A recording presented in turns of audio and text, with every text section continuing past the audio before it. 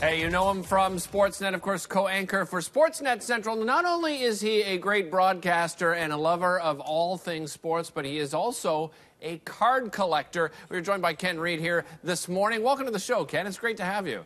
Thanks, Derick. How you doing, buddy? I'm doing great. You know, this just uh, honestly walks me down memory lane. I remember collecting so many cards. I always regretted that I never saved them, but you did save them. And how, how many cards in your collection, Ken?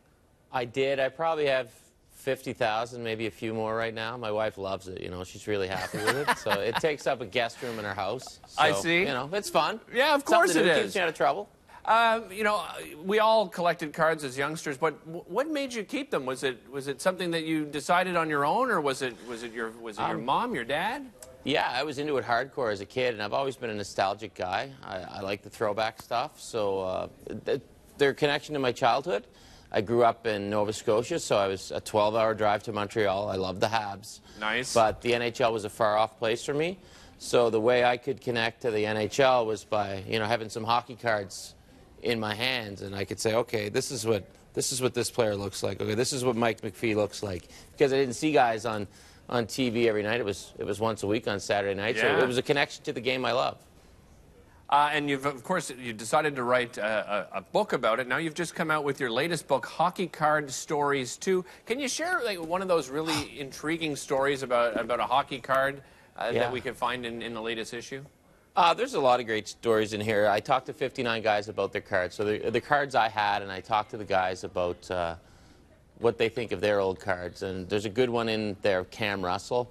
Uh, he's the general manager of the Halifax Mooseheads in the Quebec League now. And he has a card where he's posing, and he's trying to cross-check the camera. He's got a broken nose, a couple black eyes. So he told me about that story the night before he got beat up in Chicago, sent down to the minors. He finds out it's picture day, and lo and behold, he, I don't want to take my picture like this. The photographer just kind of says, go with it. And this, this beauty of a card that a lot of people don't know of is produced. So I, I have that story in this book. Nice. Do you have an all-time favorite card in your collection, Ken? All-time favorite card in my collection is my Wayne Gretzky rookie card. It's beat Oh. up. It's not worth much. It's in bad shape, but it was a childhood quest from uh, from when I was a kid. So so that'd be my favorite. Uh, I remember talking about this last year. I was so excited because it really brought, as I said, memories back. And now I actually have one of the books that you can put the Tim Hortons Collectors Series, NHL Upper Deck Series. It's back again this year. Uh, Yeah. That you know, that's a great way for a young person to get started on their own co- collection, right, Ken? It, it absolutely is. And the, the beauty of these Tim Hortons cards is, is people always say, "Oh, how can kids get into collecting? It's so expensive." These are 99 cents a pack if you get a coffee. So I mean, I'm at Tim Hortons every day. I, Yeah. I buy a lot of hockey cards every October through Tim Hortons, but I give them to my kids. I know people collect them. Uh, 99 cents a pack. You get a chance to get an autographed Sidney Crosby card. Uh, there's little digital codes on the back of each pack, so if you want to go online and trade that way, you can. Oh, There's going to be trading nights. Uh, there's going to be contests. You can win a meet and greet with Sidney Crosby, uh, who's a great guy, by the way, nice fella. Of course. And uh, I mean, Derick, you know, there's, there's nothing like ripping open a pack, right? Because it's it's kind of like Christmas. You never know Yeah. what you're going to get. Exactly. So here we go. We'll rip one open. okay. Tell me Okay. what you got Uh, there. Victor Hedman, solid D, Tampa Nice. Bay Lightning. Yeah. Eric Staal, old reliable, Minnesota Wild. Mm-hmm. Corey Perry, can't go wrong with Corey Perry, the Anaheim Ducks. So you never know who you're going to get. I got a Crosby earlier today. So, But and I guess that, that signed Crosby, that's the key collectible card that, that everyone's going to be looking for, right? There are 87 signed Sidney Crosby cards Okay. randomly inserted into these packs. So if you get one of those, you'll be doing well. And I mean, for me, it's just it's a great way to pass the hobby on to some kids. Yeah.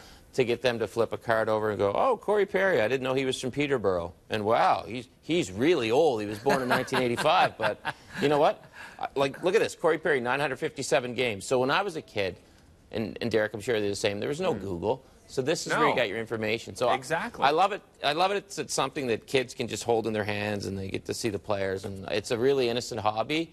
And I'm really happy that Tim Hortons and, and Upper Deck are bringing it to the next generation because a lot of us in the hockey card hobby are kind of concerned about how we can pass it on to the next generation. And this is a great way. Well, and I had the great fortune, Ken, you mentioned those trading card nights. Last year I had the great fortune of actually going to a Tim Hortons where they were gathering for a trading card night, and it was Okay. just so many different, you know, demographics, so many different people, like the men and women, young and old, they were all there. Uh, we're just showing some footage here, and they, they were having the time of their life trading these cards. I spoke to so many of them, and one guy was like three cards away from getting the full full full book. So he was excited to be there. So people can look out if you go onto the uh, Tim Hortons website. You can find out where a trading card night is happening in, in, in your region, right across the country.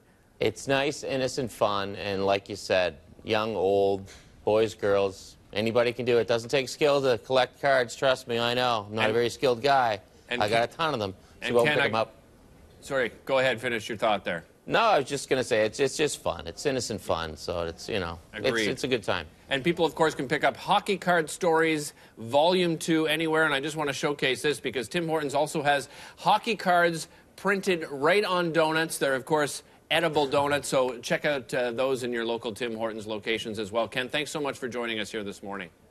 Thanks, Derick. Appreciate the time, buddy. All right, take care, man.